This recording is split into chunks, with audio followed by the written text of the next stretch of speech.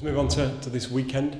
It's Barnsley. They're in a very similar situation to we were 12 months ago I got promoted through the playoffs and trying to use the momentum of that.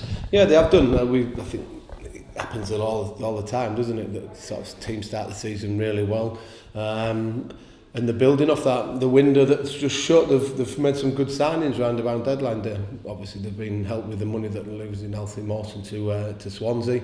Um, but obviously, bringing Armstrong in was a player that we looked at about possibly bringing to the football club. But Newcastle made it clear that they only wanted to loan him out to any of the three promoted teams. So that ruled everybody else apart from Burton, Barnsley, and Wigan out. Um, and obviously um, signed a few other players in, in amongst it. So they've got some talented players. Kent and Hamalu I know well are, are talented footballers. Hulerain can handle the ball.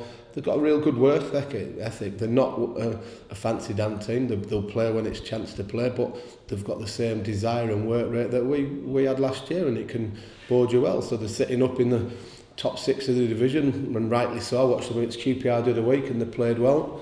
Um, but we're uh, we're looking forward to this game now with the players that we've got back, the work that we've done, and hopefully we can uh, start start a positive um, a busy schedule with a positive result again. Yeah, back to back home games. You'll be looking for. Uh, for, for a good points tally to, to sort of um, get the season going. But like, there, was the moment last season, wasn't there, when we got the, the win at Charlton. It just sort of kick-started the, the, the, the season.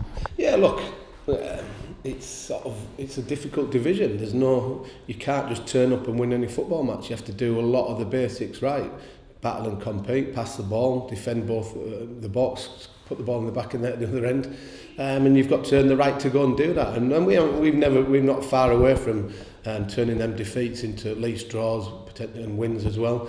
And if we keep doing what we've done and encouraging times on the training ground, well, we, there's no reason why we can't set results. We're, we're positive about what we're doing, um, and we we know what we need to do, and we will get to where we need to get to.